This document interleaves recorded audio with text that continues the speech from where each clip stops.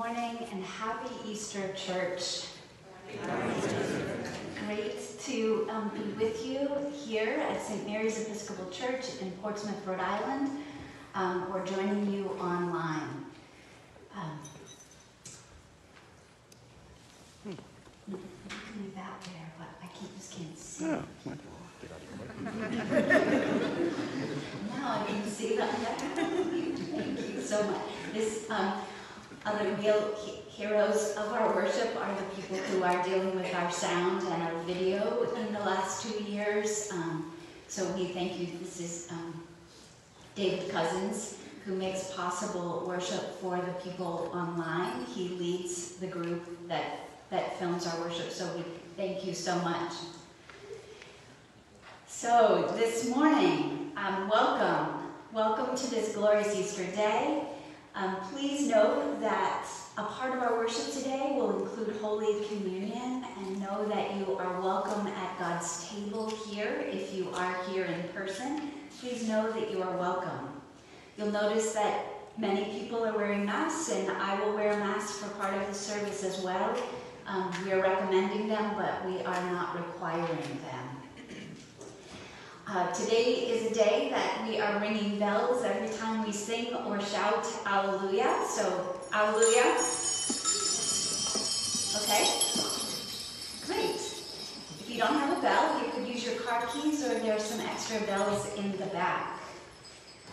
An announcement um, I, I need people to hear is that we will be moving our worship outdoors two weeks early. That will begin next week. Next week, we will start worshiping outside.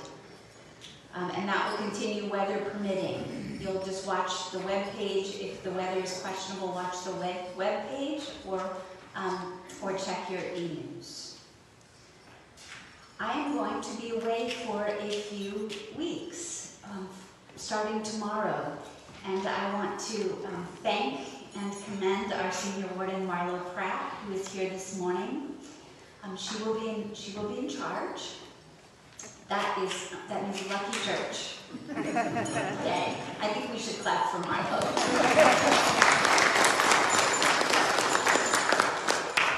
I give abundant thanks. If you um, if you require the immediate attention of a priest, please know that you, you call Marlo and she will find one. There's a whole team of people um, and, and your worship is going to be wonderful and your ministry is going to be supported. So, um, so thank you to the St. Mary's community as well.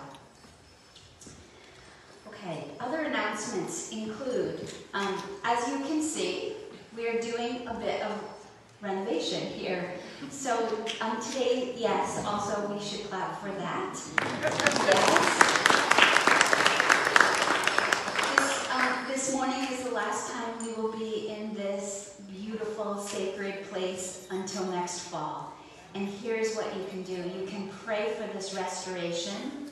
Um, you can join us in the fall as we return. Hopefully you'll join us before the fall. But join us as we reopen this restored building. And please, if you, if you can, please give toward this restoration. We need to raise a significant amount of money and your gifts will be greatly appreciated, gifts of any size. This morning I would like to thank the musicians, the altar guild, the readers, the greeters, and our amazing staff for the ministry that they have offered in preparation for today. We welcome guest musicians,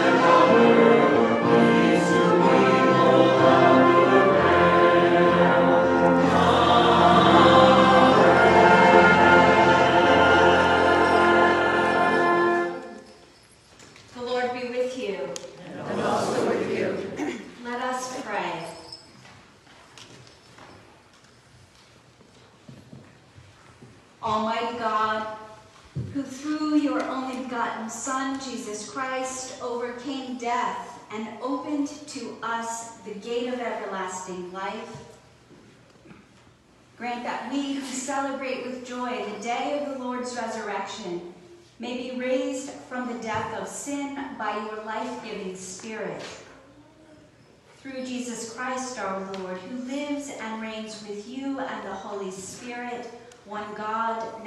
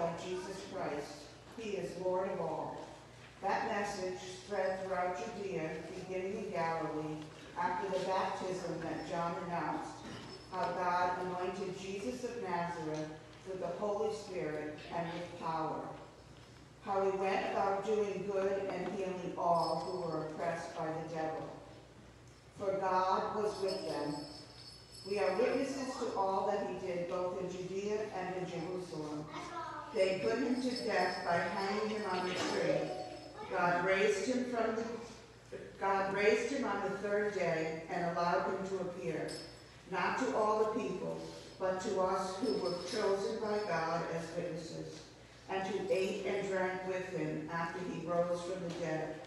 He commanded us to preach to the people and to testify that he is the one ordained by God as judge of the living and the dead.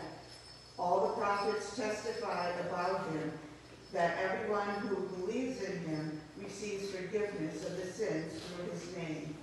The word of the Lord. Thanks be to God.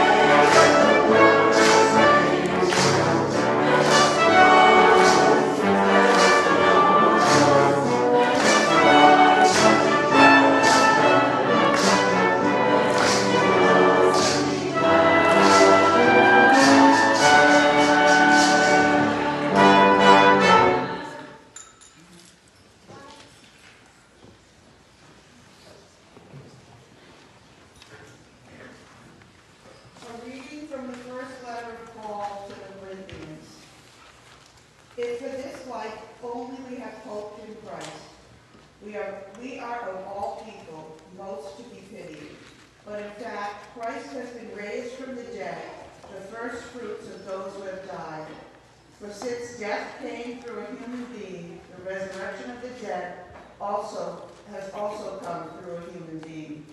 For as all die in Adam, so all will be made alive in Christ.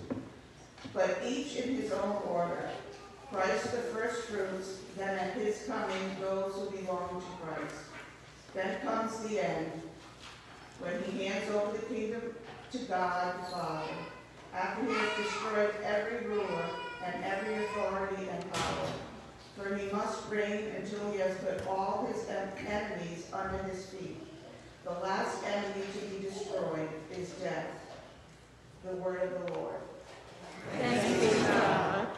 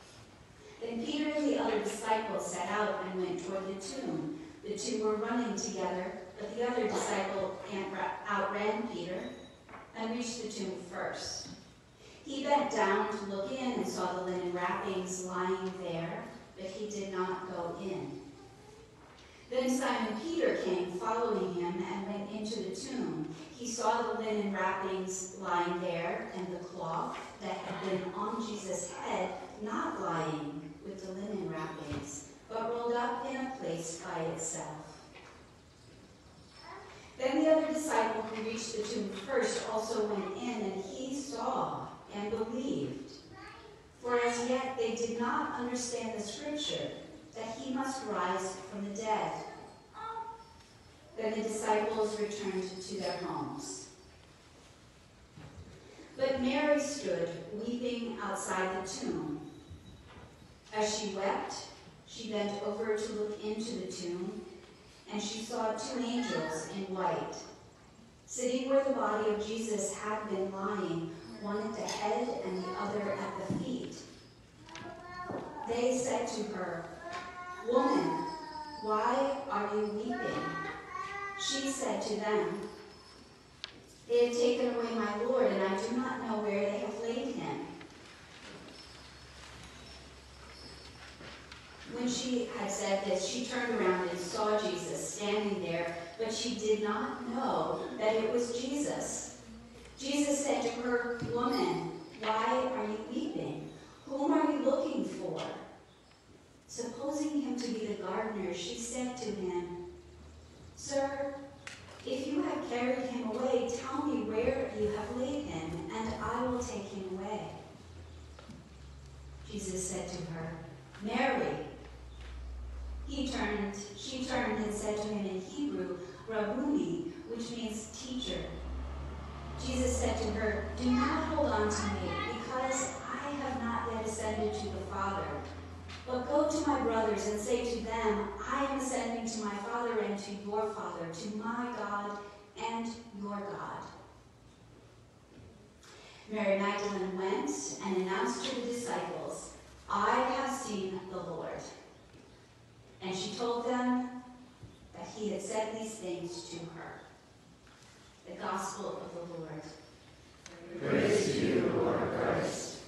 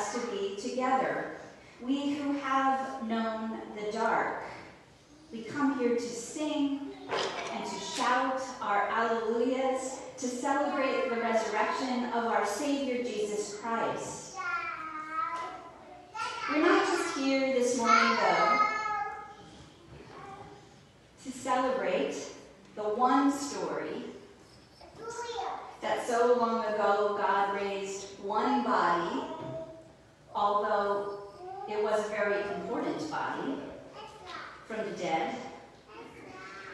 We're here to set our hearts and our minds, our own bodies alight with the hope that resurrection is for all of us, for each of us, and for the whole world. Resurrection is not a one time event, but an ongoing reality. We don't have to wait until we die to experience resurrection. The stories are real. They happen not only long ago, but even now. And so often they begin in the dark. On Thursday of this week, I heard one such story. At first, I really wasn't ready for it. And to be honest, I wasn't open to it. I definitely did not have time for it. But I heard a story that made God real to me, reoriented my heart, my mind, my body to the power of resurrection. This is not what I was expecting. I remembered, after hearing this story, that miracles do happen. Perhaps in the darkness or in the busyness, my memory had become dull. Christ is alive. This is how I know. I met a friend of a friend on the phone. His name is Dick. He gave me permission to tell this story. Now, Dick has walked the Camino de Santiago de Compostela, a pilgrimage that I will begin tomorrow. I believe that Dick is probably in his 70s, though he didn't tell me his age. He really wanted to tell his story.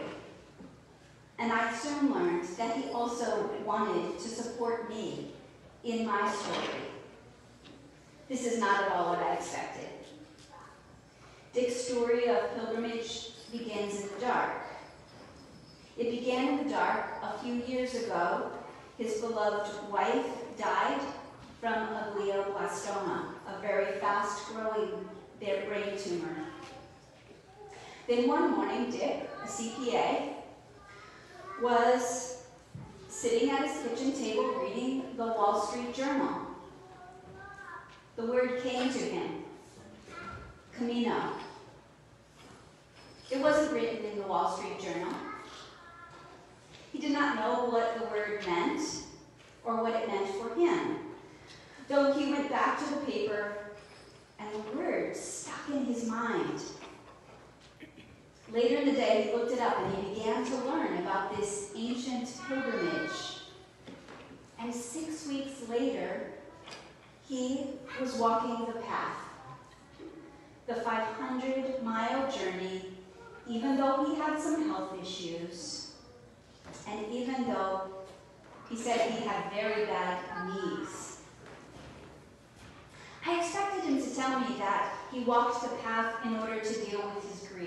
That's what I expected, but he didn't say that.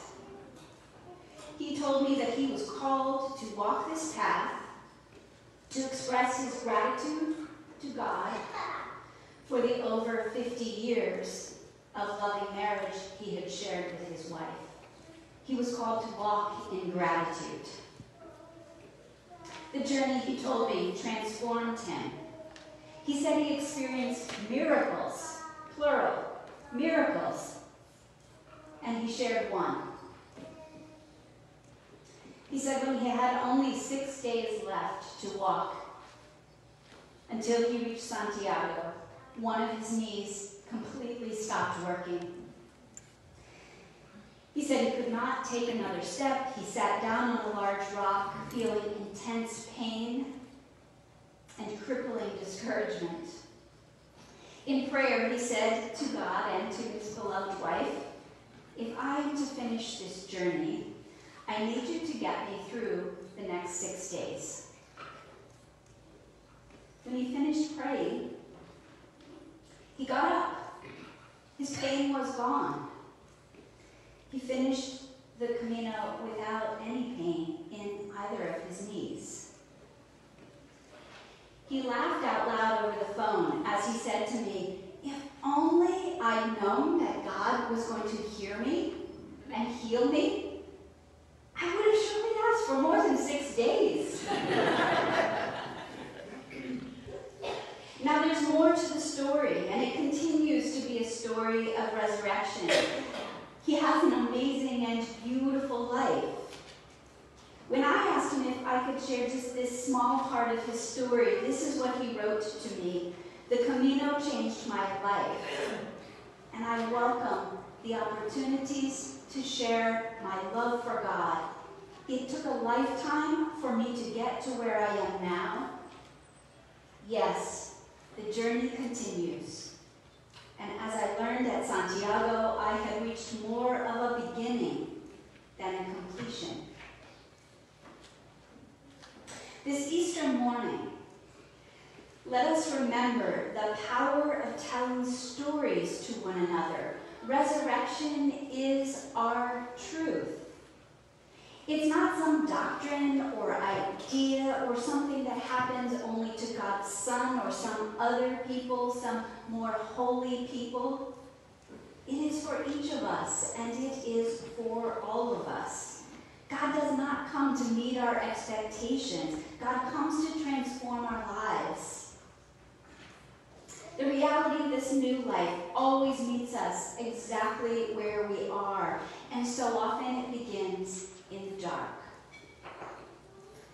When we know this in our bones, like Mary or my friend Dick, we must tell the stories. The risen Lord becomes real to us just as we are, exactly where we are and who we are on our journey. For Mary, the risen Lord came to her and became real when he said her name. The intimacy caused recognition. Next week, if you go to church or come to church, and I hope you will, you're going to hear the story of Thomas. What he needed was to touch the wounds in Jesus' body in order to believe that the risen Lord was real. Jesus invited him to do just that. The disciples, in their shock and grief on the road to Emmaus, they knew the risen Lord in the breaking of the bread. My grateful new friend encountered resurrection sitting in darkness, first reading the Wall Street Journal, and then sitting on a rock. And then he reached the end, which was actually a beginning. Where will the risen Lord meet you? In your darkness or in your light?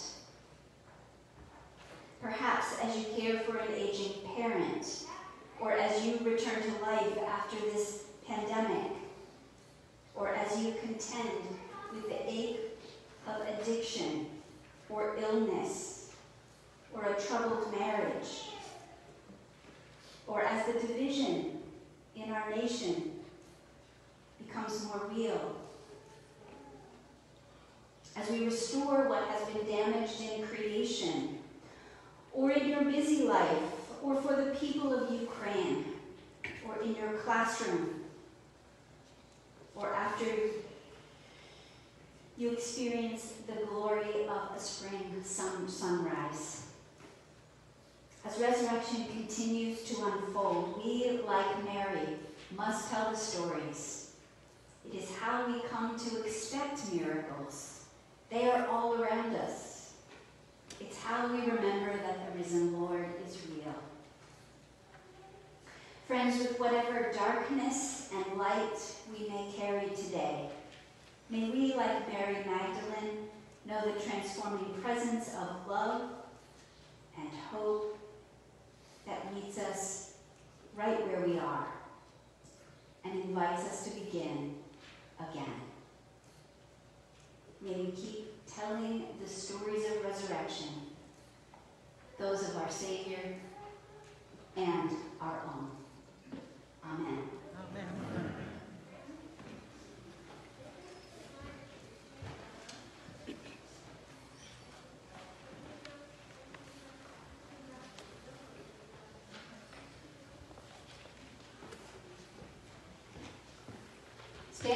you are able,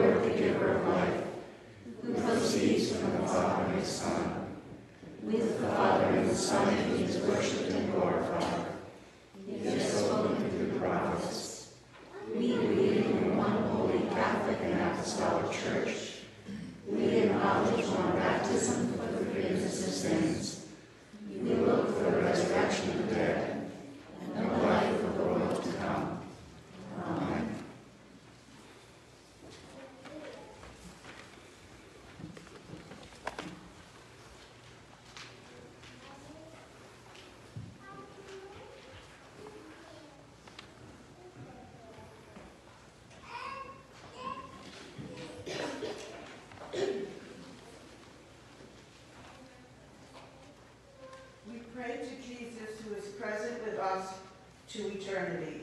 Jesus, light of the world, bring the light and peace of your gospel to the nations, remembering especially leaders and people of Ukraine and all nations where there is war and oppression. Jesus, Lord of life, In your mercy, hear us. Jesus, bread of life, give food to the hungry and nourish us all with your word. Jesus, word of life. In your mercy, hear us. Jesus, our way, our truth, our life. Be with us and all who follow you in the way. Deepen your appreciation of your truth and fill us with your life. Jesus, Lord of life. In your mercy, hear us. Jesus, good shepherd who gave your life for the sheep, recover, the strag- straggler, bind up the injured, strengthen the sick, and lead the healthy and strong to new pastures. We pray especially for Diane, Green, Fred, Callie, Carrie, Orinda, Brooke, Kathy, Jesus, Lord of life, In your mercy, hear us.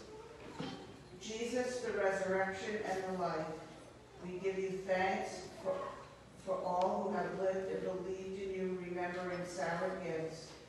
Raise us with them to eternal life. Jesus, Lord of life. In your mercy, hear us. Accept our prayers and be with us always. Amen. The peace of the Lord be always with you. And also with you.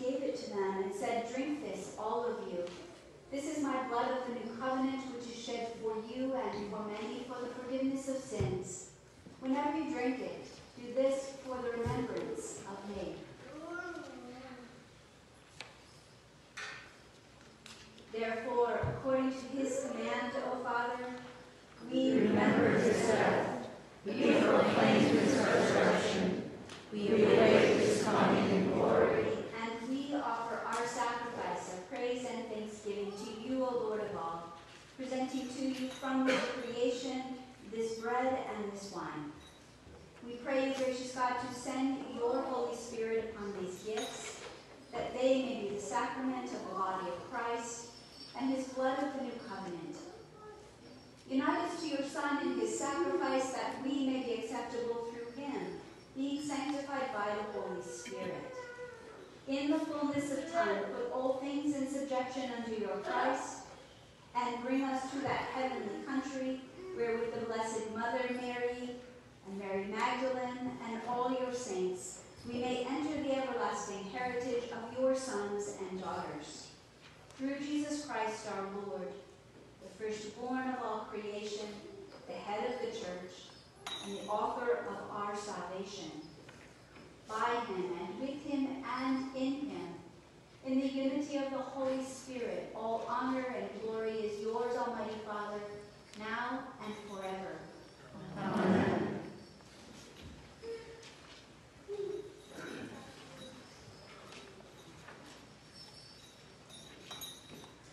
And now, as our Savior Christ has taught us, we are bold to sing.